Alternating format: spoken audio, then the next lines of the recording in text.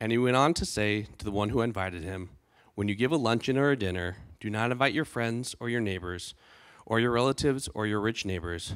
Otherwise, they may also invite you, they may also invite you in return, and that will be your repayment. But when you give a reception, invite the poor, the crippled, the lame, the blind, and they will be blessed, since they and you will be blessed, since they do not have the means to repay you. For you will be repaid at the resurrection of the righteous. This is the word of God. You may be seated. Thank you, Adam. Great job. Welcome. My name's Josh. I'm the pastor here at Redemption North Mountain. Like Ali said, if it's your first time, I'd love to meet you. We want to welcome you. It is a good family feel, so hopefully you've already felt loved and welcomed by people here. Uh, we are a church, and we are uh, gathering on this Sunday, and we have uh, lots of things on our mind. One of those, uh, if you've watched any bit of news or done any sort of online meandering, is the war in Ukraine currently. And I'm not that smart to come up with a great prayer of what we need to lift up to the Lord. But I am smart enough to know uh, I can't control much of anything. We can't control much of anything. And that's a paralyzing truth unless you're of the people of God, because that's how the people of God are supposed to live their whole life, knowing and thinking and believing that you really don't have the power to do anything unless the Lord builds the house. Those who labor, labor in vain. Unless the Spirit shows up, we bring nothing to the table. So I want to just give us a little space to kind of be quiet and just silently pray to God, whatever comes to your mind as you think about the war in Ukraine and just the state of uh, the world right now. And then at the end, I'm going to pray uh, a prayer over us and for Ukraine. So let's bow our heads, close our eyes, and let's do something maybe we haven't done all week, but spend a little time in silence in prayer.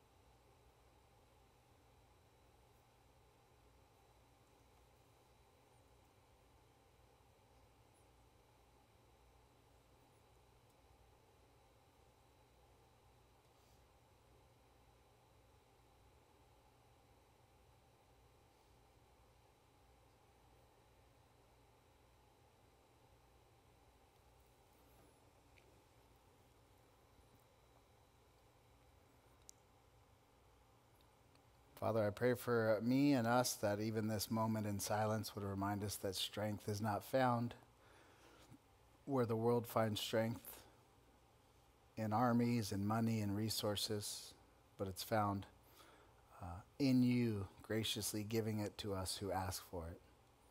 So, God, as we pray this morning, we're aware of all that's going on, specifically in Ukraine with uh, war, with uh, none of us having the answer as to what is the, the thing to fix this, other than we pray.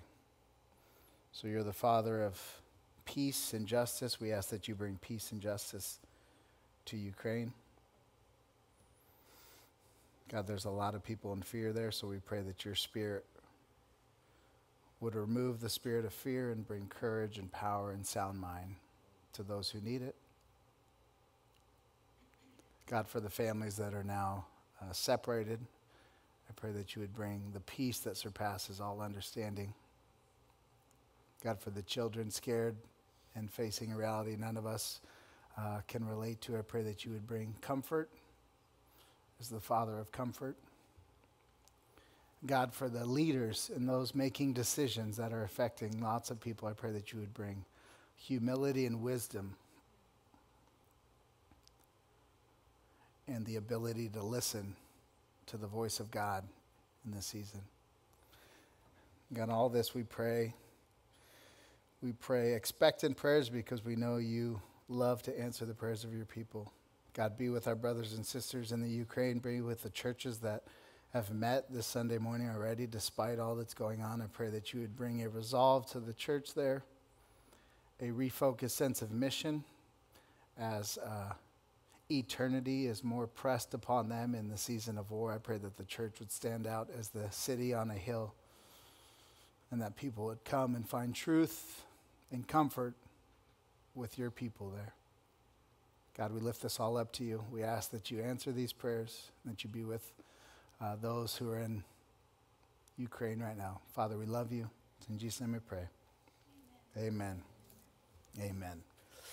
Uh, well, like uh, Ali said, it's going to be a little different normally. So, if you've been a part of Redemption Church, either here or another congregation, we're sort of uh, very repetitive, which is a good thing for the people of God because we're a forgetful bunch. We come and we worship together. We sing. All of life is worship, but singing is a particular way to worship. And then we open up the Bible and we teach what's in the Bible, usually in a book, and we just keep turning the next page until we finish that book. So, currently, we're in the Gospel of John. We're taking a break just for this Sunday to talk about this ministry opportunity opportunity. But we're going to finish up John on Palm Sunday. If you're a church person, you grew up in church tradition. My wife loved it when the pastor would come down the aisle on a donkey. She is waiting for the day for me to do that on Palm Sunday with palms being waved towards me. So, Palm Sunday, we wrap up John. I'll come down on a donkey. I will preach the last message in John.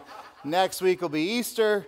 We'll come back after Easter. I'll open up the book of Colossians. There's no great animals in that one, so I'll just teach it as normal, and we'll have some other people come in. We'll close out Colossians, then we'll turn back and we'll open up 1st and 2nd Samuel and look at the kings of Israel back in the day. That's normally how we do it. Today is different. We have a ministry opportunity that I want to talk about. We mentioned it last week, so we did this M25 challenge. My family did it. My kids loved it, which was funny because it's like supposed to remind you that you have a much better life than you deserve. But every time we did a new challenge, Ozzy's like, yeah, only water. Yeah, sleep on the floor. Let's go. Yeah, I love it but is meant to prepare us for this moment, this Sunday here, the chosen Sunday. M25 is this passage which we'll spend some time in where Jesus talks about giving to the least of these. And the M25 challenge was meant to sort of prepare our hearts, prepare our minds to get in this mindset of what's it like to go without? What's it like for most people in the world? Ukraine now is on our mind, and it's going to be a place where those people have far less than we have, and they're in a far harder situation than we're in. How do we kind of, without being cheesy or goofy or gimmicky, kind of put ourselves in the shoes and the lives of others? The M25 challenge was meant to do that. And now we land here, and we're going to talk about what we want to do, how we're actually going to partner with this ministry. So I have a few things I want to do. I'm just answer a few basic questions. What, what is it we're doing? Kind of what's the ministry behind all this? Why are we doing this as a church? And then how are we going to do this? And then I'm going to pray and we're going to have the Lord's Supper together as a church family and we're going to go on our Sunday. So that's what I have planned for us today. So here's the first question What is this ministry we're partnering with? What is World Vision? Some of you have been a part of this. Compassion International is a similar ministry. It's ministry that's meant to go to the poorest parts of the world and serve and benefit them and bless them. World Vision, just I got stole this off their website. They've been around since the 50s. It's a guy named, what was his name? Bob Pierce started this. The story goes with $5 in his pocket and wanting to feed a hungry person. How am I going to multiply this $5 as I look out and see many, many hungry people? He started this World Vision in the 1950s, Bob Pierce. And those of you with like big dreams in life, either in ministry or vocationally, whatever it is, Bob Pierce is also a good uh, case study of the tension of having a family and wanting to do big things with your life, and something has to give and sadly, the story of Bob Pierce is a lot of times his family was the one that went without as he pressed into these things that are important feeding the poor and going towards the, uh, the lost and confused and those in these un- under resourced communities. He went after them. And he started this, and now that we have this wonderful ministry, World Vision, started in the 50s. In the 70s, he pressed into Vietnam and all these refugees, and he went right to the heart of this refugee crisis, and he really served there. Fast forward to the 80s, he went to Ethiopia. There was this famine across the land, just like the Old Testament. You read the story of Joseph, there was a famine for seven years in Egypt. Ethiopia was going through that. And they went in and resourced them and spent time there. The way they say it, they were the first one in, last one out. They were in there to help, and they helped build this sustainable system where now the famine was taken care of, and they had water where water needed to go, and all these resources. Fast forward to the 90s, they were pressing into the AIDS crisis. So I was alive in the 90s, but I was a kid. I wasn't paying attention to life. The AIDS crisis is spiking, and in Christianity, it's sort of controversial because politically it's this charged thing. We've had a pandemic before where it's politically charged. That also happened in the 90s with AIDS, and Christians were sort of like figuring out how to step into it, and World Vision stepped into it in the heart of where AIDS was kicking off and the pandemic was beginning. 2000s, Asia had tsunami, lots of issues. They stepped in there. They offered short term recovery and long term sort of care and support there. And fast forward today, which is where we're at, they are now in 100 countries serving 3.5 million children. And all that's more than I'll ever do with my life. That is impressive. They're across the globe, all these different countries, serving, trying to provo- provide care, like immediate care, but more importantly, sustainable, long term sort of commitment to a community to kind of have the resources necessary to be self sustaining. Who are they on their website? If you ask them who they are, they say, We are a Christian organization working to help communities lift themselves out of poverty for good. So, not everyone we partner is going to be explicitly Christian. I don't think that's a re- requirement for us to partner with people, but it's always interesting when someone says we are a Christian organization, they hold fast to the Christian belief that we would say. So, they are a Christian in name, they're explicitly Christian. But what are they doing? They're trying to get to these communities and help them lift them out of poverty for good, not just temporary, but long term. That's what they're trying to do. So, World Vision is a ministry that's been around longer than I've been alive. They've been doing great work. If you go on their website, they're the one of the most transparent and clear ministries I've ever gone to look at. Like, as far as how they spend their money, how they do their work, it's a wonderful, wonderful organization. Specifically, though, we're not just partnering with World Vision in general, we're partnering with this ministry program they now have called Chosen. So, what is Chosen? And I don't for some reason, some of you have like partnered with poor parts of the world and you've maybe adopted or sponsored a kid. My family has never done that. I didn't do it growing up. I haven't done it yet with my kids. I don't know why. It's never been presented to me. So this is our first go round in this world. But it's sort of child partnership, child sponsorship, but flipped on its head. So before we would go leave this, I'd do a pitch, and hopefully I wasn't cheesy or gimmicky. My wife would be like, "You better not be a guilt-dropping person up there." I will not. But we'd say we have this need, and then we go into the lobby, and there'd be pictures of kids everywhere, and you get to adopt a kid, and then go put on your fridge, and you pay monthly, and you support them. A few years ago, I love this because they're always sort of rethinking. They didn't like build the train and then just say, "Oh, we're good." They're always rethinking. They said something's missing in our model. So, as far as what we do in the community, we like what we're doing. We get there on the ground, we work towards sustainability and good practices and clean water and food and resources and financial stability. But there's one piece that's missing always, and it's like the kid just gets brought along for the ride without any sort of say. It's like me being a parent, my kids get little say in what we're doing. Why? Because I'm the dad, I'm in charge. But as World Vision thought and prayed, we're trying to bring ownership and dignity to these places. We're not just trying to drop resources from up on high down to this place. We want this community to flourish. One of the things they noticed that was missing was the fact that the children never had a say, a voice. Their picture was taken, their picture was sent off, somebody adopted or sponsored them. And there's nothing inherently wrong with that. But they thought, is there another way to do this? Is there a way to actually let the children have a voice. Because part of poverty, part of like the long term uh, reason poverty never goes away is there's never a point where people have choices on their own. They never have the dignity to make choices to sort of improve their life. They receive stuff, but they want to empower the kids so, this is going to be a time where we're going to be the ones that get chosen by people in this community in Ethiopia, Shashenga, I'll talk about in a little bit. But it's a child sponsorship flipped on its head. I love what they're thinking through, and I love just the fact that they, what they care about is the dignity of the child. They want food and resources and money and all that, but they want children to be dignified and seen as image bearers, just like you and I. So that's what they're trying to do. Now, specifically, chosen is this ministry program they have. What are we doing here at Redemption North Mountain? So, just so you know, this wasn't my idea. I have some good ideas in my life, but this wasn't what it was brought to me by another church in the area. I want to show you a picture. You guys love Zoom pictures. You just, there's me at the bottom left driving to a work meeting because we're having a meeting with uh, top right. That's the gal in on the ground in Ethiopia who's going to be the connect person. But five churches. So, if you know these churches, great. If not, they're all great churches. Desert Springs Bible Church, Tatum and Bell, they're great. Their lead pastor, Caleb, is the ugly guy on the top right red beard.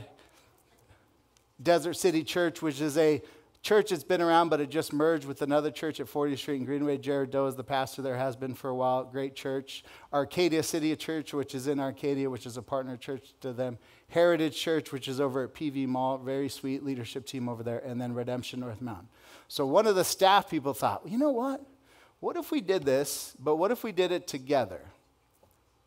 Just to show a picture of what the kingdom of God is like, but also practically, we're all kind of small to medium sized churches. They're like, what if we pooled our resources and not one of us got the credit, but we just blessed this community together? Wouldn't that be better than us trying to do ministry by ourselves? So they brought this idea. This was maybe six months ago, and I've been offered many things to like be a part of in ministry, and this just felt like, okay, I want to be a part of this.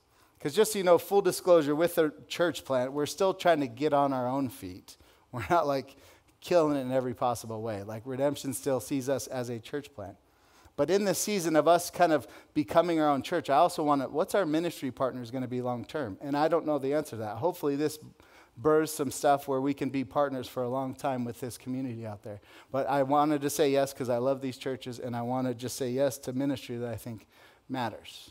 So, what exactly is this? It's a sponsorship for kids, like I said, flipped on its head. It's $39 a month. It's a community in Ethiopia called Shisheng. I'll just show you those of you who are not Ethiopian experts like I am not. It's right in the center of Ethiopia, a real poor area.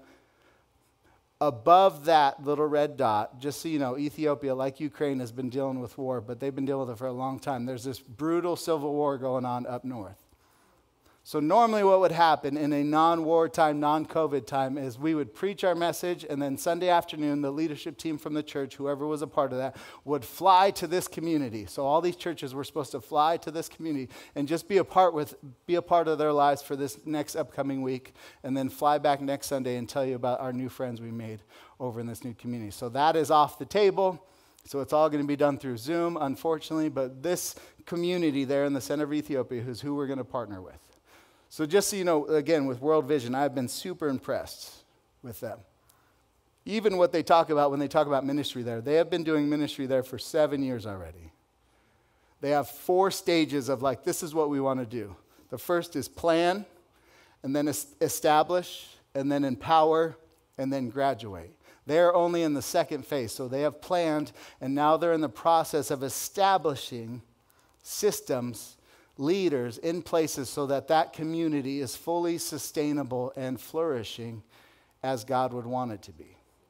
Seven years of work, and they're only on phase two. That's how the kingdom of God, Jesus says, What's the kingdom of God? It's like this mustard seed.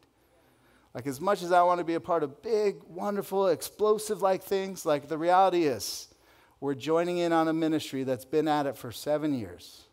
A lot of people on the ground, and we're going to one of my old pastors used to talk about battling the kingdom of darkness is like this forest fire, and we all have these tiny little squirt guns, and we and we make no impact. Trying to push into the kingdom of God and do what God wants us to do often feels like there's way more work to be done, and I get it. But there's also beauty in knowing this is not all on us and the Spirit of God is alive and active long before any of us show up in any place we decide to serve and minister to.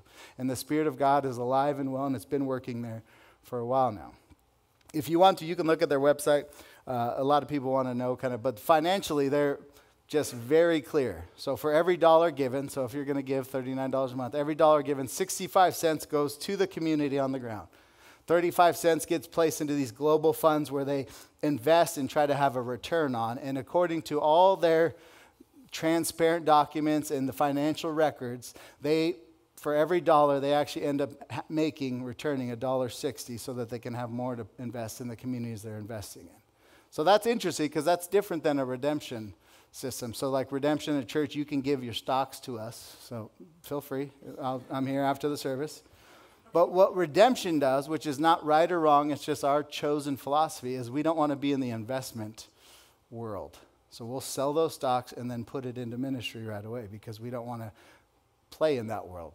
They want to put it right to the work immediately and then also take some money and invest and get a return on, which is just beautiful because Jesus has some parables about, hey, did you get a return on the investment I gave you with what I gave you in this life?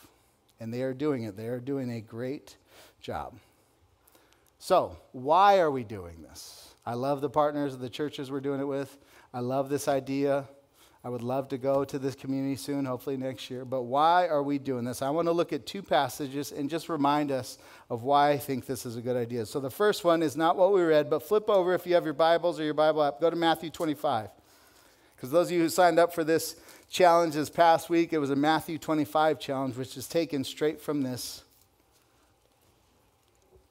passage here. Why, Redemption North Mountain, are we doing this? So, Matthew 25, verse 31 through 46. Just put your finger there in the Bible or get there on your Bible app. So, I've met quite a few new people today. Just re- so, here's why Redemption Church exists. Every church feels like God wants them to exist, that's why they're here. But every church gets to sort of flavor that and frame that whatever way they think is their unique contribution to earth in their day and age. Here's what redemption is all about Redemption Church exists to birth and strengthen healthy local congregations. So, Redemption Church, all 10 congregations, we are about birthing, starting, that's us, we're a year old, and strengthening healthy churches. We're about health. And if you drill down and say, well, what's North Mountain about? What's Redemption Tempe? What's Redemption Arcadia? What's Redemption Alhambra about? Each church then exists to birth and strengthen healthy disciples so when you're at redemption, what goes in behind the scenes in our prayer time, in our stewardship of money, we want healthy churches and we want healthy disciples. Why do I say all that? Because anything I'm about to say uh, as to why we're going to join in on any ministry should find its origin back in that statement. We want health, healthy discipleship, healthy churches. Like, even as I think about doing a missions outreach thing in Africa, I don't have stats to back this up. I just have lots of empirical data from conversations with people. Missions people, missions people in churches, missions people in parachurch tend to be those that burn out quick and hard. Why? Because it's hard work and it's never ending. One of the pastors at Tempe came from Portland and he made his start uh, in the missions world. So he's a pastor of a pretty important church there in Portland and he was the missions guy. So this was about 10 years ago he started. And I was just talking with him last week. And he says, It's interesting looking back, all my friends that we started in this missions world together, they're all burning out, except for me and a few others. He said, I think part of my saving grace is being a part of a church that's about health more than just what's the next thing we can tackle and go after. So, as we think about giving to this, giving to other stuff, pouring ourselves out for mission, which is the most important thing on this earth, what are we going to do? How are we going to get healthy? Here's what I want to see in this passage a healthy church gives, but a healthy church also receives because it's needy. So the first one is a healthy church is a giving church. So let's read this together. It's in red, it's the words of Jesus. It's getting close to the end in this Gospel of Matthew.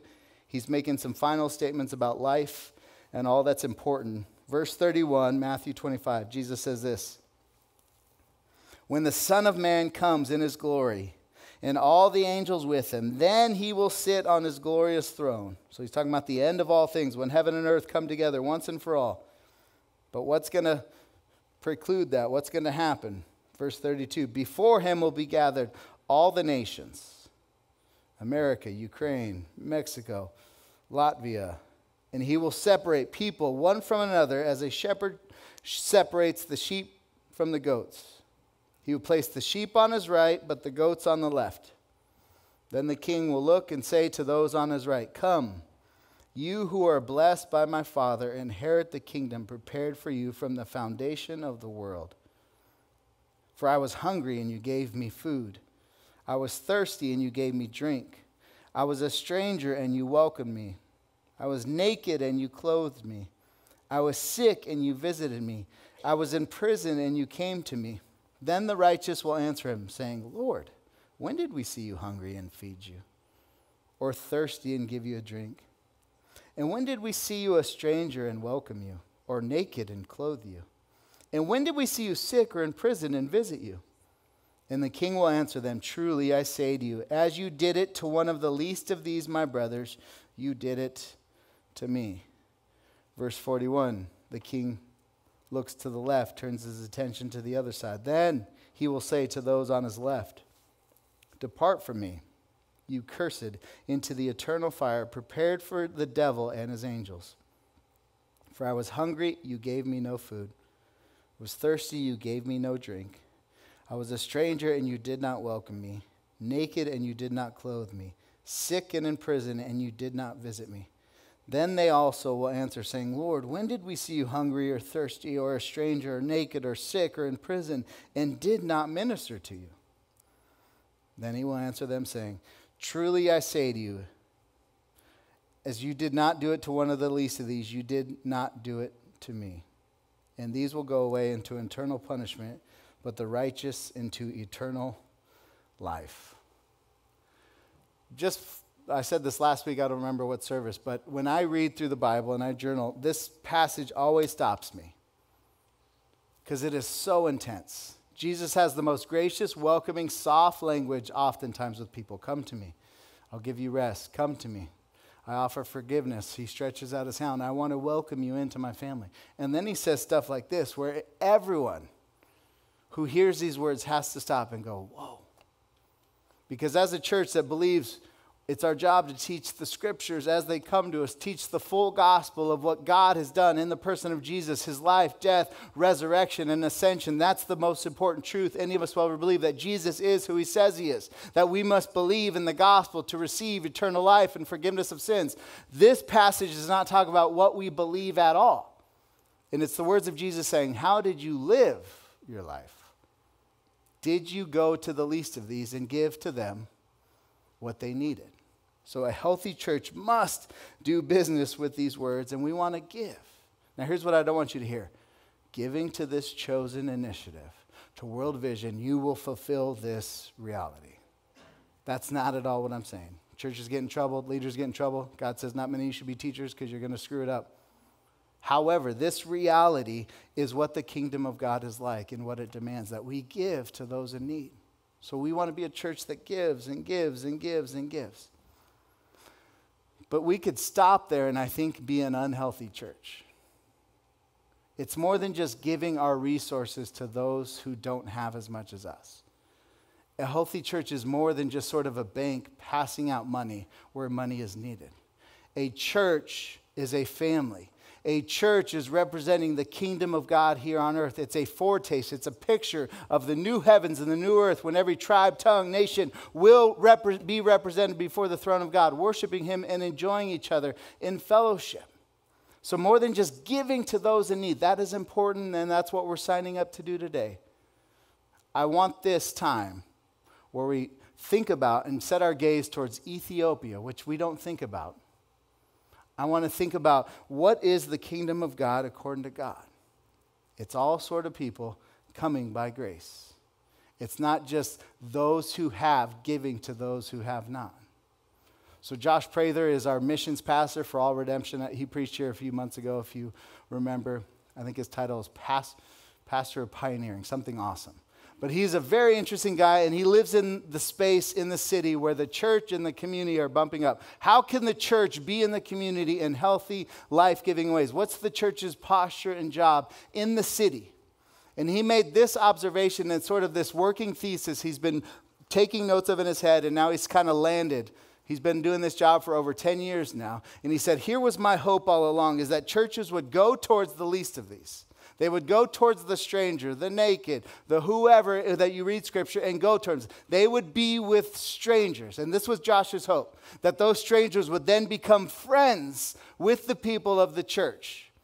More than that, though, they would then get to this point where the stranger, those without, the poor, the needy, the destitute, those in prison would become family with the church. So, very practically, that means Redemption North Mountain. Like, whatever this vibe is of people. He would hope that we'd go out and do ministry with people different than us and they'd become strangers. Or they'd come from strangers to friends and then they would feel like family and then we'd throw a party. That is the kingdom of God. Amen. Amen. And Prather said that didn't happen. Didn't happen in redemption. He hasn't seen it happen much. And he's just one guy. We could say, what's he know? Missions pastors are always weird. But he has a simple observation is to think why he thinks that's not even possible to happen, given a mindset. He says, unless the church that has, the church with resources, the church with money, and just by all early indication, Redemption Church North Mountain is going to be a good, healthy, long lasting, generous church. So we are a church that has. We have people, we have resources, we have. Unless that church, that individual, that family comes to those without saying this in their head I need them as much as they need me. This little transition from stranger to friend to family will not happen. So, as we start to give to Ethiopian people that hopefully I get to meet next year, like the hope is not, we've given, we've given. Matthew 25, we did it. Our hope is still, we want to be in community, in family relationship with those far different than us. Because that's how the kingdom of God works. Flip over to Luke, the one we read. This is where I get this from. This is a beautiful picture of the kingdom of God. It's a subtle sort of juke on Jesus' part. Luke 14, Adam read it for us, verse 12 through 14. We want to be a church that gives, but we also want to be a church that needs and tells ourselves that we need. We need other people. We need people with less than us in our lives. Why? Because this passage right here gives a picture. Verse 12 says this He said also to the man who invited him. Pause right there. So, Bible study skills. Who's being talked about? Let's just rewind until we find it. So, for, chapter 14, Genesis, give me amen. So I am on the right page. 14, verse 1. Who's being talked about? One Sabbath, when he went to dine at the house of a ruler of the Pharisees. Pause right there. So Jesus gets invited to a party by a ruler of the Pharisees, a religious leader. So somebody who knows their Torah, their word. And someone who also knows enough to know that Jesus is something special, and he invites Jesus in. So, this is what's fascinating. This is us as a church. We love the Bible, we love it. We want this to be preached. And we love Jesus and we invite Jesus to be a part of our church. We want Jesus in the Bible in our church. And Jesus himself is talking to somebody who has the Bible and Jesus. And Jesus is going to point out, just so you know, you still are missing something. Your life could be more full. You could be participating in something far greater than this, even though you have the Bible, the Torah, and me, the Messiah, here. What does he say? He gives image here. What do he say to this guy? When you give a dinner or a banquet, do not invite your friends or your brothers or your relatives or rich neighbors, lest they also invite you in return and you be repaid. Verse 13.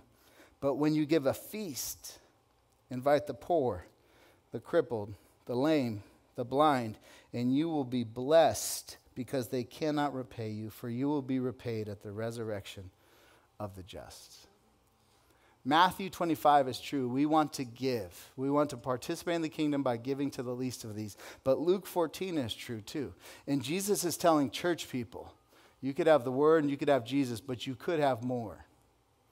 The word he gives in verse 12 is when you give a dinner or a banquet. He's saying when you give a dinner, when you gather, don't just gather, translation, with those that you want to be around already.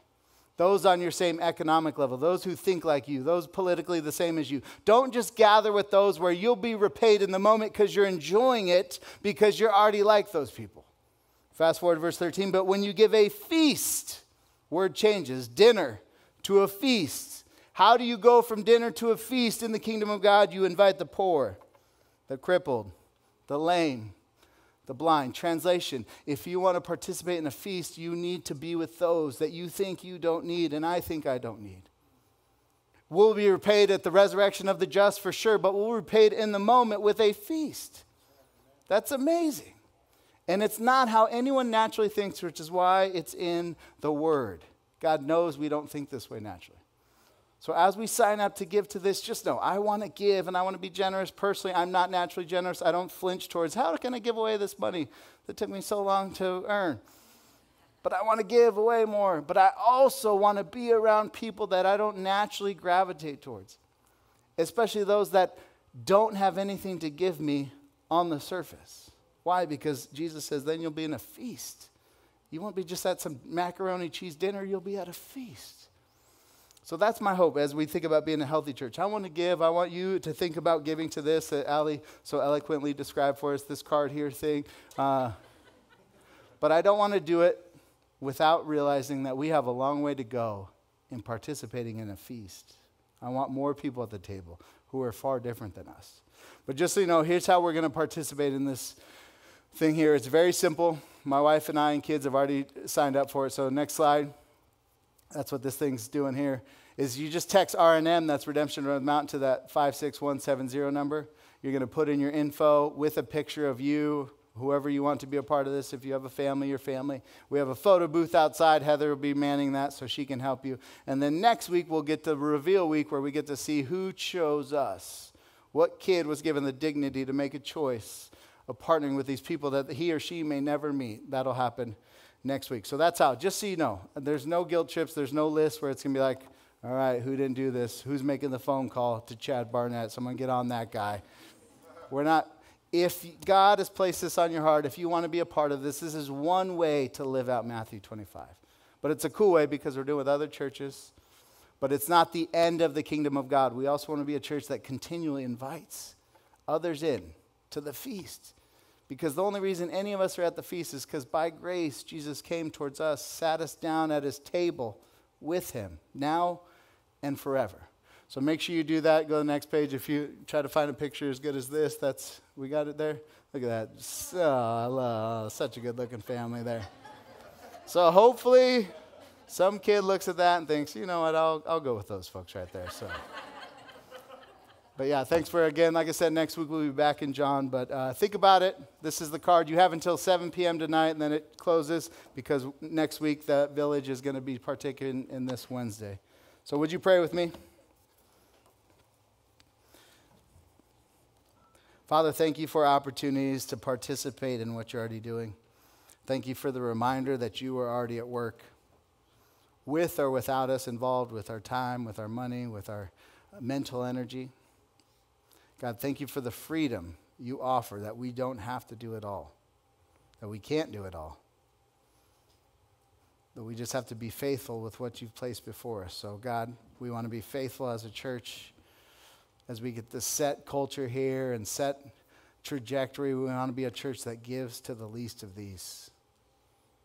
We don't want to be guilted into this. We want to love into this. We want to see needs and go towards those and feed and clothe and give drinks. But God, even bigger than that, is we want to be a part of your kingdom. We want to enjoy your kingdom to the fullest. And part of that is realizing that the feast comes as those far different than us enter. So, God, help us be a church that is honest with where we're at, that is teachable enough to know that we've got a long way to go And God is courageous enough to take the steps to get to where you want us to be, to more faithfully and accurately display and reflect your kingdom. So, God, thanks for a chance just to pause and look at this part of the world that is not on my radar much. Look at needs that are not needs in my own home. And to step out and serve and love. God, be with us as we continue to worship you in this moment. In Jesus' name I pray.